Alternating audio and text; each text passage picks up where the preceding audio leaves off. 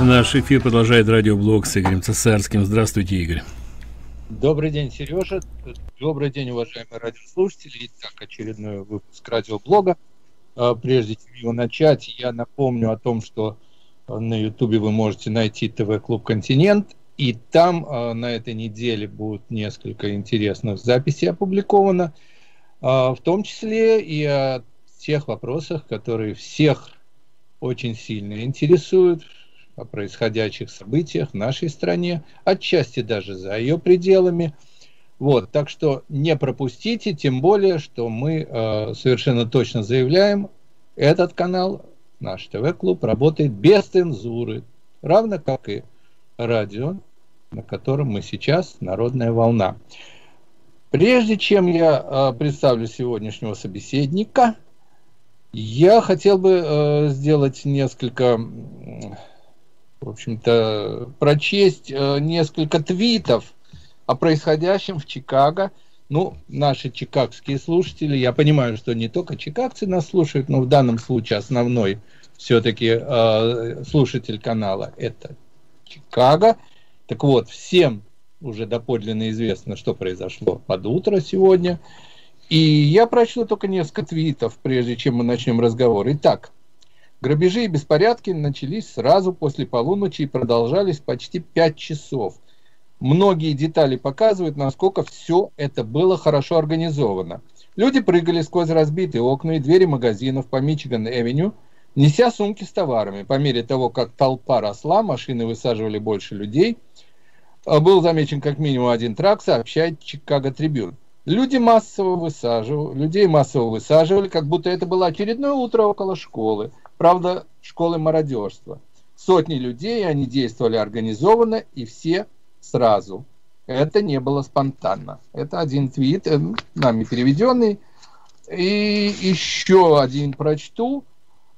Безусловно, хаос – это самая главная цель левых. Эти внутренние террористы жаждут не только грабежей, это не просто э, наживы, ради наживы им нужна социалистическая революция, они требуют хаоса, разрухи, агонии, отчаяния, неудобств. Как вы понимаете, сегодня, да, пойдет опять речь о том же, о чем мы практически вынуждены говорить все эти последние месяцы. О том, что в стране происходят, как хотите, кто-то кто аккуратно говорит протесты, кто-то говорит беспорядки, мародерство, грабежи, и мы все законопослушные граждане, мы все, кто хочет, в первую очередь законности, порядка и нормальной жизни, вынуждены постоянно говорить о том, что происходит на улицах наших городов. Итак, сегодня на связи Нью-Йорк наш друг, наша подруга Елена Пригова, журналист, блогер, активный участник э, движений, которые возникли тоже не случайно но в отличие от вот этих грабительских, они возникли в поддержку полиции. Так вот, Лена очередной раз участвовала в такой акции, о которой она наверняка расскажет. И это делается под маркой Blue Tuesday. То есть это, это такой уже узнаваемый бренд, я бы сказал. Это люди, которые выходят добровольно свое свободное время, отнюдь не за деньги, как вы догадываетесь, поддержать полицейских. Лена, добрый день. Добрый день. Чикаго, добрый день, мир. Я смотрю, ты прямо э, в рубашке э, цветов полиции. Это прямо флаг полицейский. Очень приятно его видеть, потому что э, а нас... меня? Ну, это, это само собой. Само. Особенно тебя во флаге полицейском. А, я хочу вам сказать, друзья, что время э, молчаливого большинства, оно остается временем молчаливого большинства. Потому что люди чего-то ждут. Я не могу понять, чего они ждут. Я не могу понять, а они на что-то надеются, что что-то рассосется, рассосется или что-то изменится. Не изменится, не рассосется. А надо начинать активно действовать и проявлять свою позицию, гражданскую позицию, пока это можно сделать. А вот те погромы, которые происходят в больших городах, а, ну, сейчас в Нью-Йорке не так громят, как у нас э, другие проблемы. Если в России это дураки и дороги, то у нас дураки во власти и еще раз дураки во власти. Потому что дороги зависят уже от тех дураков, которые нас ведут по этим дорогам. Так вот, э, то, что касается Америки, больших городов, я не знаю, как в провинции Америка себя ведет, потому что провинции, наверное, все тихо, спокойно, потому что провинция а, любит размеренность, а города большие кипят, кишат всем подряд. Болезнями, нелегалами, беспорядками. Если в городе что-то еще нормально, то в этот город завезут вам болезни, нелегалов и беспорядки. И паразитов. Ну, паразитов, само собой, потому что да. я не знаю, как, как в Чикаго, но я знаю статистику Нью-Йорка, 100 миллионов у нас платится на эм, нелегалов и на их лечение в год. И вот эти деньги, которые мы платим, и, к сожалению, мы ничего не можем поделать. К сожалению, наши власти ничем не отличаются от власти а, в Чикаго. У нас Деблазио, у вас Лайтфуд. Да, этим все сказано. Два сапога парой. Я не знаю, насколько они пара, насколько они сапоги, но то, что это люди а, не на своем месте, и, к сожалению, этих людей не на своем месте избрали люди, которые должны были бы подумать, каково место этих людей в истории их городов и страны. Но пока что у нас идет а, абсолютно а, деструктивное все, к чему прикасаются а, руки наших загребущих, тех, кто очень любит социализм, и тех, кто любит перераспределение благ. К сожалению, это так. Но вернемся к тому, что происходило вчера в Нью-Йорке, а до этого, 28 числа, я участвовала в такой же акции, только уже в Филадельфии. А, ну, если бы Чикаго было немножко поближе, мы бы, наверное, в Чикаго поехали. Но как бы за ночь не успеем туда-обратно смотаться. Поэтому вы уж как-то сами. А мы показываем пример. И пример мы показываем уже давно, потому что Нью-Йорк первым проснулся, и вот эта акция, а, которая называлась Blue Tuesday, а, она уже давно переросла себя. Она уже давно стала общенациональной, потому что люди присоединяются по, все, по всем городам большим Соединенных Штатов Америки. Я это уже видела, потому что а, капля долбит камень не силы на частым падением. Вот это маленькие капельки, они уже собираются в реку они, я вижу эту реку, я вижу направление этой реки. А каждый раз, когда приезжаешь в какое-то новое место и видишь акцию поддержки полиции, а я хочу повторить, что вот недавно была такая же акция уже в Лос-Анджелесе, казалось бы, Лос-Анджелес, такой, такой синий-синий, а он оказался не совсем синим. Там оказалось достаточное количество людей, ну, как э, подсчитали, их было почти около тысячи, собственно, в Беверли-Хиллз только, немножко меньше. Но э, люди пришли, люди проснулись, и они начинают просыпаться. Вот это молчаливое большинство разъяренных, послушных граждан, закона послушных граждан, которые устраивают все в рамках, опять же, закона и той первой поправки, которая есть у каждого.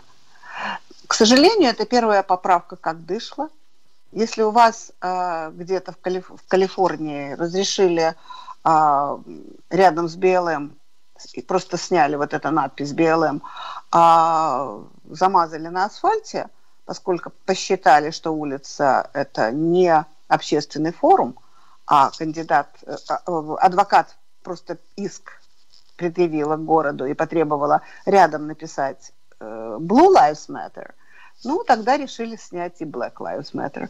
Ну, хоть так. У нас с нашим Деблазио не совсем везет. Потому что когда хотели написать то же самое по поводу Blue Lives Matter, он не разрешил. Но зато регулярно закрашивает а, вот эту большую надпись, которая находится возле Трамп Тауэр, регулярно потому что уже несколько раз на эту надпись покушались. Причем покушались э, не совсем даже белые люди, покушались те, кто э, имеет черный цвет кожи. Это две совершенно потрясающие женщины, перед которыми я преклоняюсь, которые, э, ну, это верующие, протестантские, в общем-то, евангелисты. Они четко и ясно сказали, что только э, Jesus matters. И они закрасили вот это Blue Lives Matter. Они путешествуют по Америке, не далее, как на прошлой неделе, они были уже в Сан-Франциско, в Очине Пелоси, и очень интересный репортаж оттуда провели, потрясающий репортаж. Они целый час показывали а, то место, за которое отвечает перед народом нашей страны госпожа Пелоси. Но госпожу Пелоси, что ж ей там, зачем ей Зачем ей э, Сан-Франциско? Ей королевство побольше нужно, поэтому она и правит в Вашингтоне, подальше от своей вотчины. А у нас очень неравнодушные а, еще две женщины, которые заодно являются транссексуалами, выступают под э, вот этим разноцветным а, радужным знаменем. Они мало то, что транссексуалы, еще и одна из них, а, она, когда ее арестовывали, она сказала, что она ВИЧ-позитивная, но очень активная и очень за Трампа. Буквально вот везде я ее вижу. Ее зовут Джулия Джерманотта. Я с ней познакомилась случайно на протесте. Она протестовала а, возле, мэри, э, возле мэрии Нью-Йорка, вернее, возле резиденции нашего мэра. А, и мы познакомились на протесте. Вообще протесты а, дарят какие-то совершенно непонятные знакомства с совершенно интересными людьми с точки зрения протестов, потому что это люди, когда мы видим людей, которые выступают против а, того, за что боремся и агитируем мы, это мы видим один протест. А я уже вижу на протяжении нескольких протестов людей, которых я раньше видела. Вот вчера, например, я познакомилась с человеком, которого я вот фолловала, следила за тем, что он пишет в Фейсбуке. А потом я смотрю, и стоит вот такой парень, черный, чернокожий, очень знакомое лицо. Я стала слушать, о чем он говорит. А он оказался вот э, таким Кристофер Райт. Если вам интересно, наберите в Фейсбуке Кристофер Райт. Э, чернокожий умничка, консервативный парень, который расставляет все по своим местам. И мы с ним договорились, что теперь мы вместе будем ходить на акции, которые организовываем мы, и на акции, которые организовывает их э, группа. А самое главное, когда я сказала о капельках и реке, то произошло уже и происходит слияние всевозможных групп, которые собирали, собирались раньше исключительно в Фейсбуке, в интернете, в социальных сетях. Они э, теперь оживают, они из э, виртуала переходят в реальную жизнь. И а, я вижу, как вот буквально неделя, каждую неделю идет вот это слияние. Я, я вижу, как в разных районах появляются люди, которые действительно организовывают это. Одни и те же организаторы из разных групп. Но группы уже приходят а, слаженно. И вчера у нас уже а, тоже тысячи человек а, тоже собралось. Казалось бы, лето, жара, у нас влажность стопроцентная, 100 градусов по Фаренгейту, можно было бы на пляже сидеть, можно было бы вообще из дома не выходить, потому что под кондиционером уютнее. Но люди пришли. Люди пришли, и я обратила внимание на количество молодых и чернокожих ребят. Вот именно молодые, чернокожие, которые очень боятся вот этого uh, defund the police. Они очень боятся, что с полиции снимут финансирование, потому что они на себе прекрасно понимают, что такое разоружить полицию сегодня. Разоружить полицию сегодня – это значит попасть а, в ту страну, из которой мы в 70-е, 80-е пытались уйти, в страну хаоса, в страну разбоя. Потому что везде, где э, перестает работать нормальная полиция – там происходит беспредел. Не мне вам рассказывать, вы прекрасно знаете, что происходит в вашем Чикаго. У нас тоже не лучше. У нас Нью-Йорк а, взлетел в статистических данных убийств, ранений и всего прочего. И что делает наш, а, наш прокурор штата? У нас есть такая потрясающая женщина, чернокожая, Летиция Джеймс. Я с ней тоже познакомилась как-то на одном из фандрейзингов. А, она отметилась первый раз и прозвучала громко а, тогда, когда сразу после избрания Трампа президентом Соединенных Штатов Америки она организовала в аэропорту JFK протест против вот этого бана. Если вы помните, был такой бан, когда запретили въезд в страну представителям нескольких э, стран мусульманских, и они назвали это мусульманский бан. И не важно, что, в общем-то, э, по поводу этого бана говорил в 2015 году и писал, и сделал это все Обама, но Летиция Джеймс собрала людей, под антитрамповскими знаменами. Ей это удалось. В Нью-Йорке это запросто удастся. Вот в други, под другими знаменами собрать людей это уже сложнее. А под антитрамповскими прибегут. Так вот, Летиция Джеймс не далее, как на прошлой неделе, решила потягаться с нашей НРА, э, той организацией оружейной, которая, в общем-то, поддерживает республиканскую партию, которая является частью нашей партии – и она решила потягаться а, со второй поправкой. Она решила лишить граждан Нью-Йорка, это говорится не только о городе Нью-Йорке, потому что она прокурор штата, э, вот нашего законного права на вторую поправку. И когда это делает прокурор, то мне сразу становится страшно, потому что инициатива от прокурора неконституционная говорит уже о многом. На Конституцию давно наплевали, давно ее растерли, и она как дышла. Вот так вот. Вот такие вот мысли меня посещают каждый раз, когда я бываю на э, акциях защиты полиции. Потому что э, наши города оголяют. Мы остаемся один на один. Вот с тем беспределом, с той графой, которую нам предлагают не заполнять. Это графа защита нас от бандитов, защита нас от преступников, нас лишили наших законных прав. Что делать в этой ситуации? Во-первых, голосовать против. Во-вторых, устраивать а, коллективные иски, так называемые class actions, и не молчать. Потому что помните, что вы сегодня промолчали, вчера вы не пришли, позавчера вы не проголосовали. Вы страну сами отдаете тем, кто ее будет продолжать разрушать. Вы прекрасно понимаете, что мы дело имеем с идеологией. С идеологией э, не сражаются молча. Идеология требует контр-идеологии, которая должна звучать, и нужно разговаривать, разговаривать и разговаривать. Я уже говорила, я еще раз повторюсь, если я призываю кого-то к чему-то, я иду сама туда, где происходит какой-то протест или акция поддержки, потому что мы живем в гражданском обществе. И если кто-то скажет, ну, бесполезно в Чикаго или бесполезно в Нью-Йорке э, голосовать, потому что все равно демократы, все равно левые, все равно никакой перспективы. Вот при таких мыслях никогда никакой перспективы не будет. При таких мыслях добровольно поднимают белый флаг и идут сдаваться. Но когда я говорю о э, молчаливом большинстве, я прекрасно понимаю, что люди настолько сейчас недовольны тем, что происходит. Я знаю, какое количество людей, которые были зарегистрированы демократами, теперь подают заявки и переходят в республиканскую партию. Я это знаю от представителей республиканской партии, которые мне просто показывают, сколько чернокожих или латиноамериканцев просто подумали о своей жизни. Они подумали, что эту жизнь, вот эти руководители, которые сегодня есть в наших городах, они им не обеспечат. Поэтому, знаете как, спасение утопающих – дело рук самих утопающих.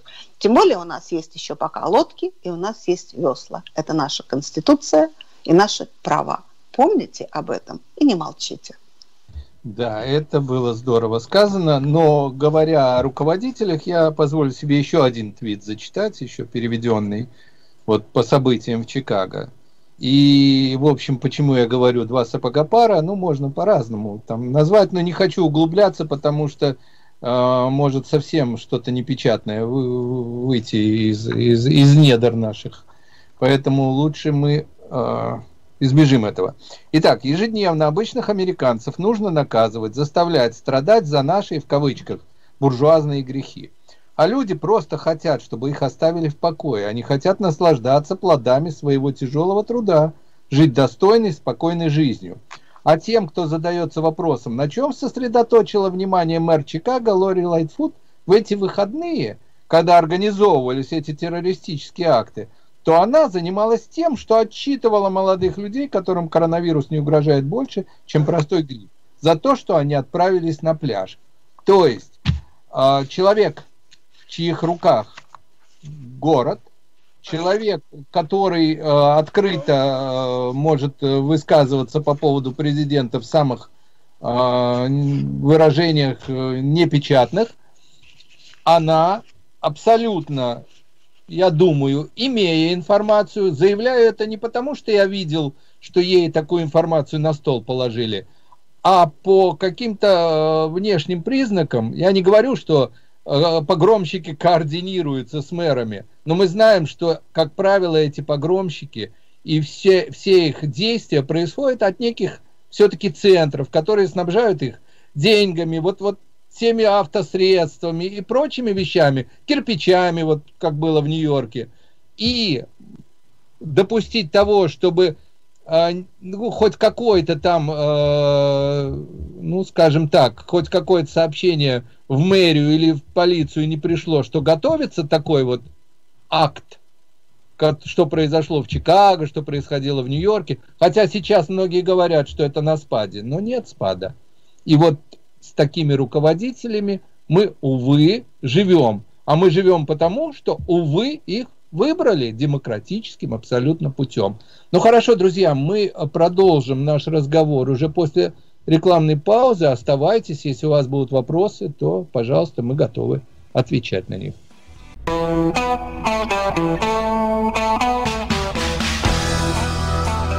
Продолжаем нашу программу. Напомню, телефон в студии 847-400-5200. В этом сегменте вы можете звонить задавать ваши вопросы, и наши ведущие постараются на него ответить. Кстати, у нас уже есть звонок, если вы не возражаете. Да, спасибо. Я только напомню, что с нами Елена Пригова, Нью-Йорк. Добрый день, слушаем вас. Пожалуйста, в эфире. Алло, здравствуйте. Здравствуйте. Знаете, с чего я боюсь? Что вторая поправка действует не только для нас, но действует и для черных. И они сейчас – уже не те черные, что были. Они организовываются и могут создать милицию. Может быть, начнут грабить не с помощью машин, а с помощью автоматов. Вот, хорошо, спасибо ваше мнение. Хочешь прокомментировать, Лена? Хочу прокомментировать. Пожалуйста. Я сейчас услышала а, мнение человека, который сразу взял граждан на белых и черных разделил. Мы говорим о том, что у нас Конституция и равенство всех абсолютно перед законом. Этот закон действует абсолютно для всех граждан. Когда вы подчеркнули, кто какую милицию организовывает, да, эта милиция уже есть. Да, эта милиция уже есть. Но эта милиция вовсе не защищает именно черное население, чернокожее. А эта милиция построена совершенно по другим принципам – и эта милиция, это есть элемент вот той марксистски подготовленной деструктивной силы, является орудием в руках абсолютно белых людей. Я хочу вам сказать, чтобы вы просто знали. Потому что Антифа и БЛМ – это те организации марксистские, которые задуманы и проплачиваются в своем большинстве белым населением. Больше того, там очень много евреев, которые является мозговым центром того, что происходит. Прискор... Поэтому без... Заметь. Да, поэтому, да, вы, вы понимаете, у нас еще есть наша пресса, дорогая, которая исключительно левая в любых вопросах, потому что она будет, а, она будет предвзята к любому черному консервативному или а, просто республиканцу, а, придерживающийся каких-то центристских взглядов, э, Просто проанализируйте, посмотрите программы MSNBC, CNN, и вы поймете, что э, не в цвете кожи дело, а подчеркивание цвета кожи как раз говорит о том, что у нас немножко перекошен взгляд. Потому что я познакомилась с потрясающими людьми, с темнокожими американцами, которые, знаете, вот на этих протестах проявляется очень многое. И э, переоценка ценностей идет, и понимание, что все люди делятся на порядочных и непорядочных. Все люди делятся на плохих и хороших, честных и бесчестных. И вы не замечаете цвет кожи, как бы вам не навязывали вот этот лозунг BLM, потому что за этим лозунгом ничего черного нет, потому что за этим лозунгом стоят совершенно другие идеи. Это идеи а, уничтожения вот той цивилизации, в которой мы находимся. Почитайте. Есть очень много литературы, которая вам подскажет ответы на все вопросы, которые у вас возникают. В том числе и по второй поправке. Сережа, у нас есть звонки еще? Да, пожалуйста. Алло, Алло здравствуйте. Да. Знаете, я хочу, я с вами вполне, я вполне согласен, что Грейс-Ру движение это очень хорошее, сильное движение. И в свое время, когда был Обама, вы помните, партия чаепития, которая была тоже и Грейс-Рут. Но, с другой стороны, тогда очень была большая помощь. Помните, Сара Пеллом, которая не была не стала вице-президентом, она очень приложила большое усилие для того, чтобы организовать это по всем штатам. А сейчас я просто не знаю, как в Нью-Йорке, я думаю, то же самое. Просто я, как член республиканской партии, и в Чикаго, и в нашем, и в Иллинойсе, такое чувство, что у нас вообще нет республиканцев. Такое чувство, что у нас вообще и на уровне э, Конгресса, и на уровне сенаторов нет у нас, у нас нет, в принципе, есть только движение Грейсрут, все остальные, которые стоят у власти, их все устраивает. Абсолютно. Вы посмотрите, наоборот, сейчас движение где против Трампа. Республиканцы забираются, которые против Трампа, которые бывшие сторонники сейчас против Трампа выступают. Понимаете, получается то, что только Грейсрут, я с вами согласен, но все-таки это должно быть в какой-то степени идти от республиканской партии какого-то должно быть. А у нас, получается, у нас вообще нет. У нас что демократы, что республиканцы одно и то же. За Спасибо за ваше мнение. Можно, я можно тоже, это очень хороший вопрос затронул наш Абсолютно, абсолютно. Да, я... что о разговор о республиканской партии. Мы много можем сказать о демократах. Лен, пожалуйста. Я хочу вам сказать, что а, если бы республиканцы не вели себя пассивно, то, возможно, демократы не были бы настолько агрессивны. А, потому что мы говорим о тех республиканцах, которые вот являются а, практически все они, вот те, которые у нас сидят в Конгрессе, это все профессиональные политики. Профессиональный политик, который сидит десятилетиями на, на, на своем месте в Конгрессе или в Сенате, он расслабляется. Ему интересы собственного кармана, собственного авторитета и ему власть дороже всего остального. Поэтому каждый будет из них держаться правдами и неправдами за свое теплое место, за свою синекуру. И э, не надо обольщаться. Люди, попадающие в политику, у них меняется состав крови и ген – у них другой, у них испорченный ген, в котором есть э, вот самое деструктивное, то, что называется ген политика. Это почти люди, они почти такие, как мы, почти, но они другие. Очень хорошо ты заметила, почти. У нас есть еще звонки, попробуем принять. Добрый день, слушаем вас. Добрый. Во-первых, я хочу выразить свое глубочайшее уважение к, к Елене я не пропускаю ее ролики. Она умница и большой молодец. Но вот она сказала Я о том, что вот у нас есть конституция, и вот надо ее соблюдать. Но я вот не могу понять. Я уже 30 лет уехал из Союза, и я еще помню, что когда я уезжал, по-моему, была там большая свобода, чем сегодня у нас в Америке. О какой конституции вы говорите? Когда еще 17 -го года, 17 -го года было ясно, имею в виду 2017 -го, когда Леон Винштейн говорил, что вся эта, э, все то, что против было Трампа, все, все это полная фигня. Были документы, доказательства. Тем не менее, два года продолжался импичмент. Когда у нас нет сегодня Конституции, или есть только для республиканцев, только для демократов. Республиканцев Конституции не касается да, абсолютно. Да. Спасибо. Извините, у нас не так много времени. Лена, я, я, думаю, я, я во-первых, что... вам благодарна за теплые слова, спасибо. А, я хочу вам сказать, что то, о чем вы говорите, мы законопослушные граждане. Вот этим мы отличаемся от вот того, э, того противоборствующего закону общества, в которое нас втягивают вот, вот те протестующие против всего, те заседающие в Конгрессе и плюющие на закон, законодатели, наплевавшие на закон, преступники. Поэтому мы имеем сейчас дело с теми, кто плюет на законы, кто их переписывает. А скажите, пожалуйста, когда мы говорим о том, что у нас идет гражданская война, а у нас она идет уже давно, она идет э, тихая пока что, холодная стадия, но она идет, эта война. И никуда вы не денетесь. Э, что мы можем э, противопоставить вот тому беззаконию, которое творят э, демократы? Тоже беззаконие? Скажите, пожалуйста, кто тогда из нас будет прав?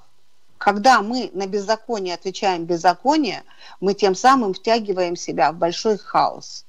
Кто-то должен в этом разговоре быть вменяемым. К сожалению, те республиканцы, которые должны быть вменяемы, я уже об этом сказала и повторюсь, они не совсем вменяемы, они отпускают и отдают свои позиции. Они отдают улицу за улицу, за улицей, город за городом, штат за штатом, вот это самое страшное, что может быть. Потому что э, нужна принципиальность, нужно единство. Посмотрите, насколько едины э, наши демократы. Почему за них голосовать нельзя? Да потому что даже если вы голосуете за вменяемого человека, который, а, в общем-то, э, под синими знаменами Демпартии идет, да, он вменяемый. Но в результате это превращается, что вы все равно будете голосовать за Рашиду, э, за Рашиду Тлаиб, например. И, кстати, мне очень приятно сегодня сообщить а, нашим радиослушателям то, что вот эта а, не совсем адекватная дама, она признана этикой э, нашей э, в Конгрессе. Она нарушила этику. Она залезла в карман своей же избирательной кампании, использовала деньги в личных целях. Поэтому не надо обольщаться. Как только мы видим социалистов, коммунистов и прочих леваков, это значит будет, что они очень хорошо умеют а, в карман положить чужое. Не обольщайтесь.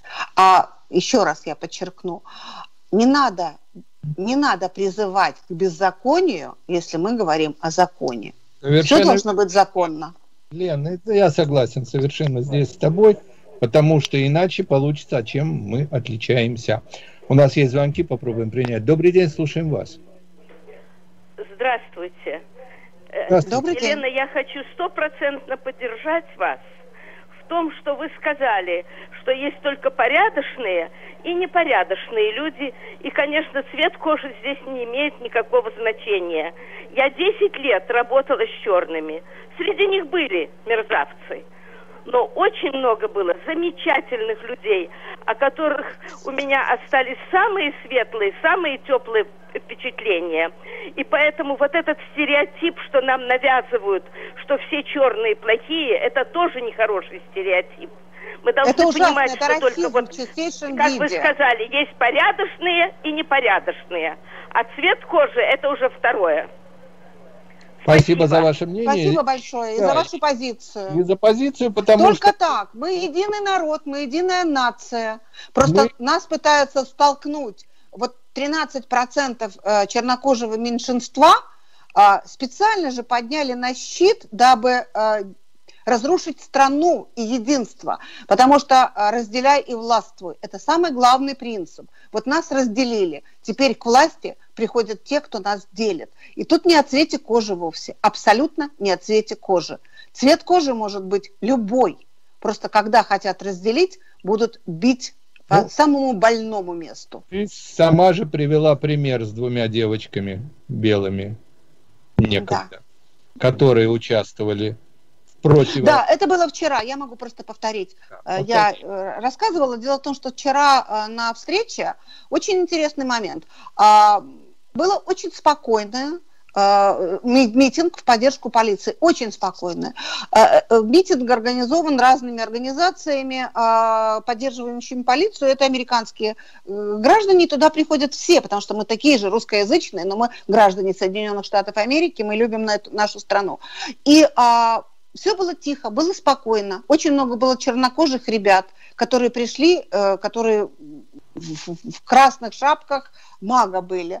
Очень много было э, и, и религиозных евреев, и нерелигиозных, и а, китайцев, и представителей Латинской Америки. Это люди, которые поддерживают порядок, и это люди, которые страдают от беззакония, от того, что нет полиции.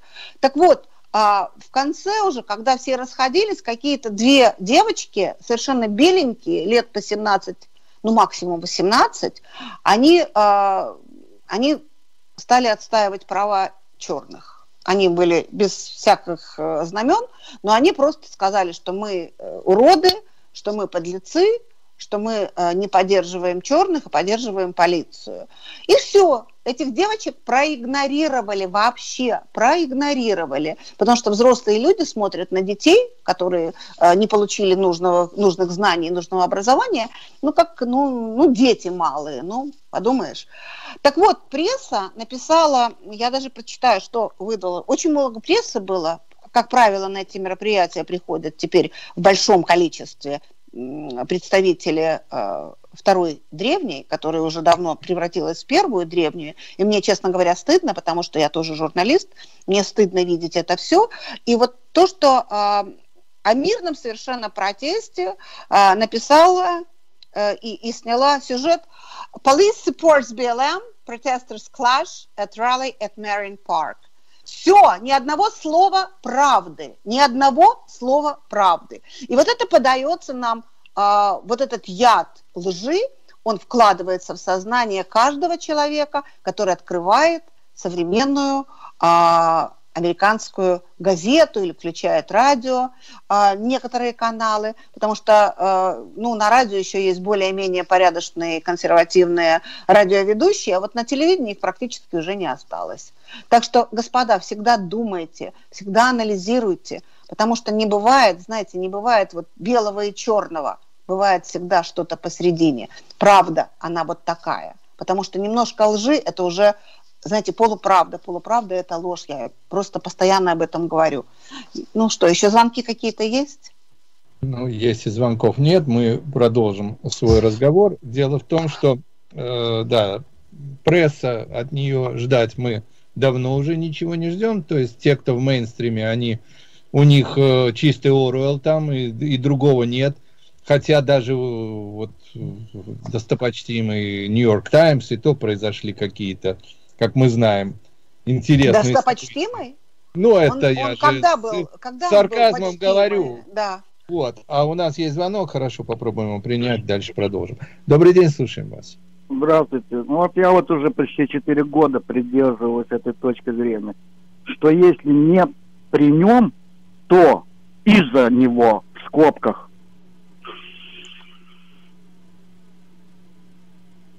Так. Ты понял? Я не очень. Но если есть еще звонки, мы можем принять, а если нет... Я, я ну, тоже не совсем да. поняла из-за него а, или не при нем. Ну, вы, вы ну, понимаете, я, я могу догадываться только при Не-не-не, мы здесь ребусы но, решать но... не будем. Мы, в общем-то, люди с воображением, но простые.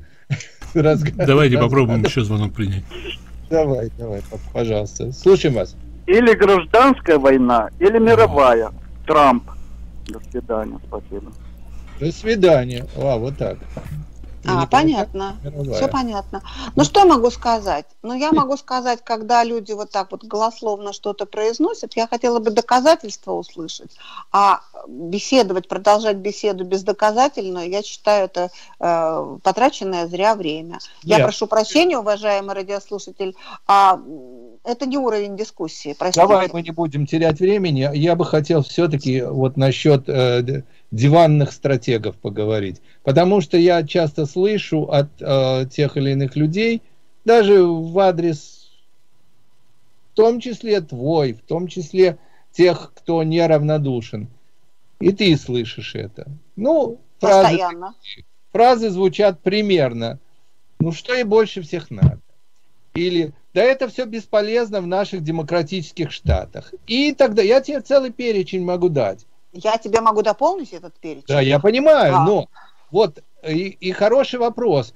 Но ей же не платят за это. Или наоборот кто-то. О, наверное же Трамп где-то какими-то раздает конверты. То есть люди вместо какого-то действия, особенно меня в данном случае волнует не те, кто э, на той стороне, как говорится, реки, а те, кто, казалось бы, думает и полагает, равно как и мы, что, что ну, страну надо, в общем-то, как-то спасать. Так вот, что ты можешь ответить тако, таким стратегам? Могу ответить очень просто. Я всегда думаю о себе. Я эгоистка.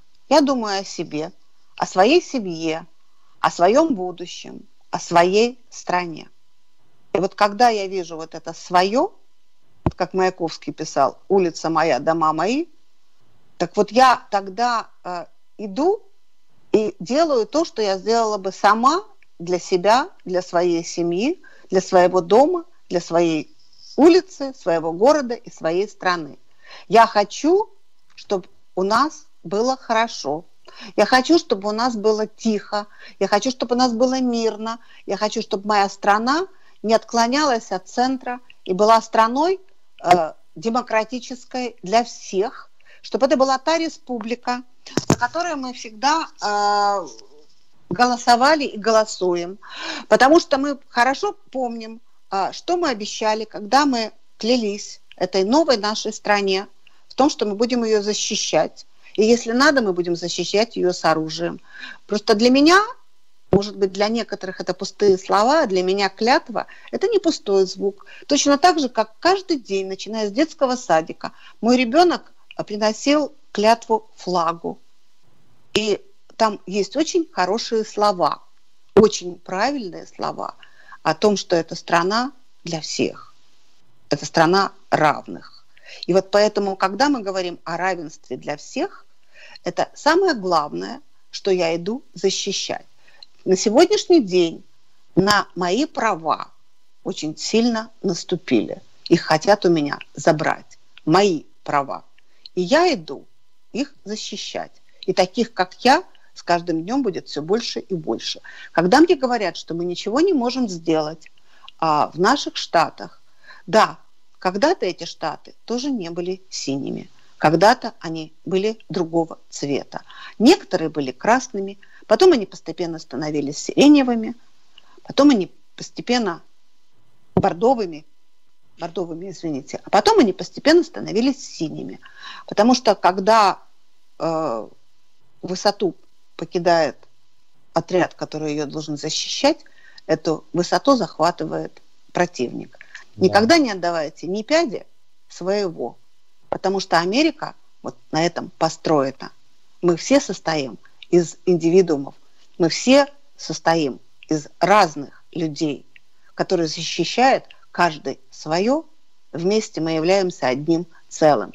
Помните об этом, это самое главное.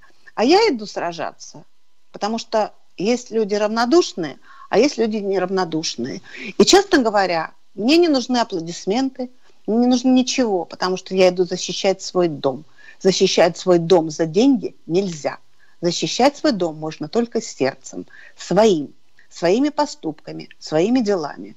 И если сегодня в нашем штате, я надеюсь, что в вашем тоже, уже есть люди, которые переходят – из, из партии демократов в партию республиканцев, потому что они видят, э, знаете, как дерево по плодам познается. Они видят плоды вот этого синего дерева, объедаемого ослами. Они это видят, и они хотят отдать это дерево слонам, потому что слон просто сверху листья поест, но он не, не тронет корни и не, не разрушит это дерево. И вот таких людей становится все больше и больше. А для того, чтобы мы стали видимы, мы дали, должны просто идти и записываться в республиканскую партию сегодня. Это единственное, что является гарантом того, что ну, мы еще немножко поживем в той Америке, в которую мы приехали. Или, по крайней мере, голосовать за нее. У нас есть звонки, Сереж? Да. Здравствуйте. здравствуйте. Здравствуйте. Эм, я хочу спросить у вас о нашей комсомолке Александре Кортес, чей авторитет растет вот э, уже она легко переизберется в этом году в Конгресс, и я боюсь, что через два года она легко победит нашего Шумера. Э, но я думаю, что у нее э, амбиции более высокие, и она нацелена на Белый дом. Вот почему она на данном этапе поддерживает э, Байдена и, допустим, Сьюзан Райс, если они выберутся, э, станут президентом, кто-нибудь из них, допустим, Сьюзан Райс, допустим, то она же не допустит, чтобы через 4 года э, Александра поку, э, начала свою активную деятельность против. А если победит Трамп, то там она может пойти против Трампа. Э, в смысле уже переизбираться, потому что Трампа уже не будет. Спасибо, Спасибо. извините, у нас одна минута вообще эфира, так что Я, давайте. честно говоря, не поняла, да. когда я хочу спросить у комсомолки, то комсомолку я... Вы, Нет, вы... это только насчет комсомолки. Понятно. Значит, комсомолка пока что на сегодняшний день, она как бы а, осталась неудел, за нее не очень хотят э, голосовать. Она может рваться вперед, как все наши э, крайне левые. Но пока что она может только хотеть, потому что по возрасту она пока никуда не проходит. А дальше посмотрим, что будет дальше. Как ну, будет дальше, никто не знает. А то, что у нас, то, что у нас самое страшное произошло, то, что у нас перестали существовать умеренные демократы. Вот вам и ответ, за кого нужно голосовать. Лен, спасибо за эфир и до новых встреч. Всего доброго.